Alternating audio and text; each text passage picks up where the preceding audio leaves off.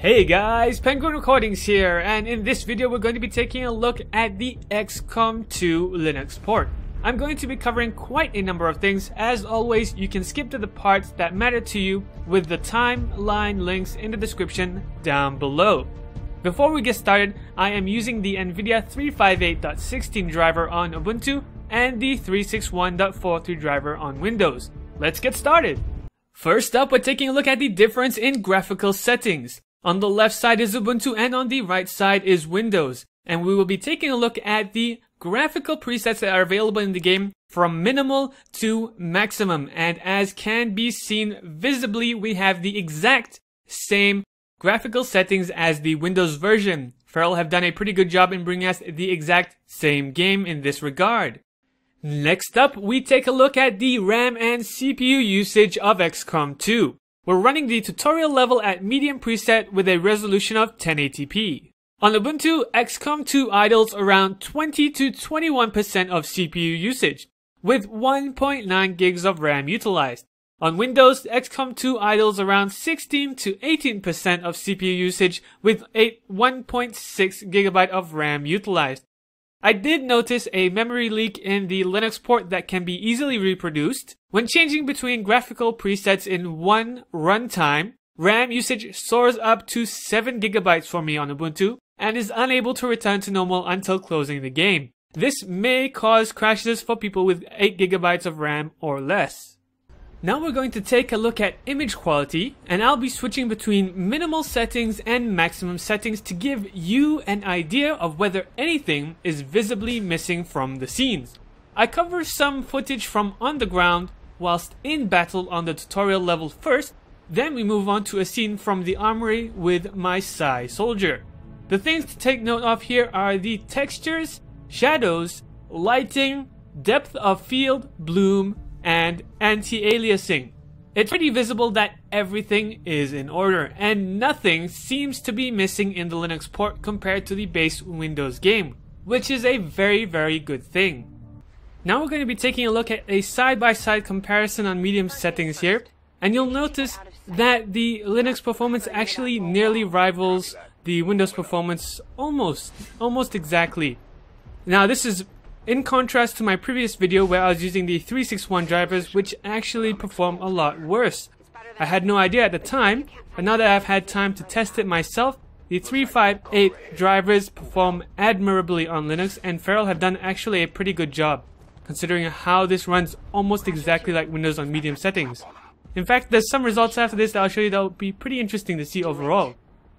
This is not a frame by frame comparison, so I'm doing my best here to keep the scenes in sync and doing the same actions throughout, but you will notice that things aren't always exactly the same when uh, the camera pans. So this is the best I can do since this game does not come with a benchmark mode.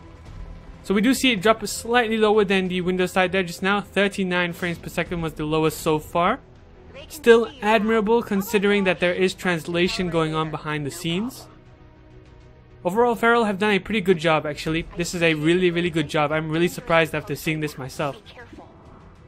I was definitely expecting a lot worse. The 361 definitely performs a lot worse. The 358 drivers are definitely the go-to drivers if you're going to be playing this on Linux. So first up we have the minimal preset graph here. And you'll notice that the Ubuntu performance actually outdoes the Windows performance ever so slightly.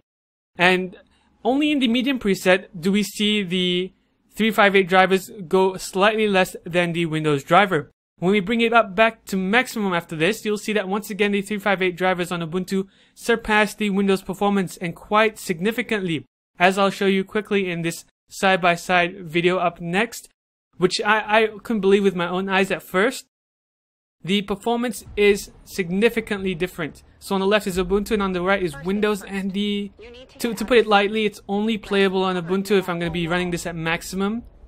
If I'm running it at maximum, it's just not usable at all on Windows. It's not even just in-game battles.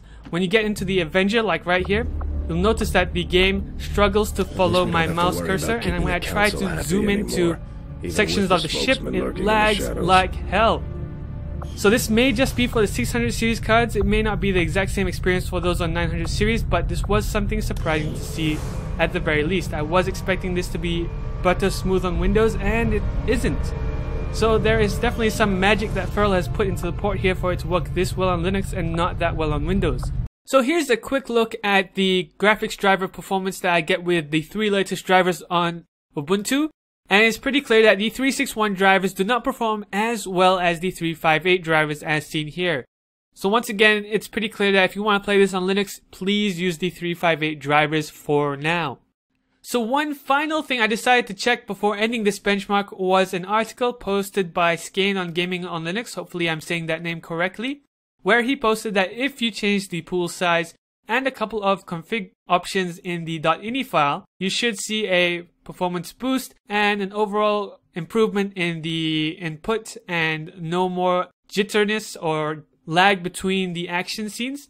However, for me, this did not have an impact at all. In fact, it pretty much didn't do anything for my system. So that said, it may be a hit or miss if you're going to try these tweaks. At least for me, they did not do anything different.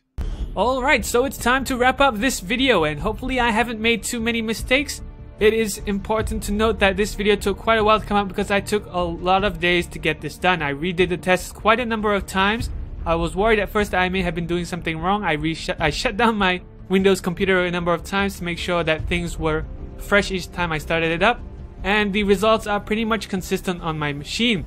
That said, 700 and 900 series cards may experience slightly different results in the end, so please feel free to share your results with me in the comments down below.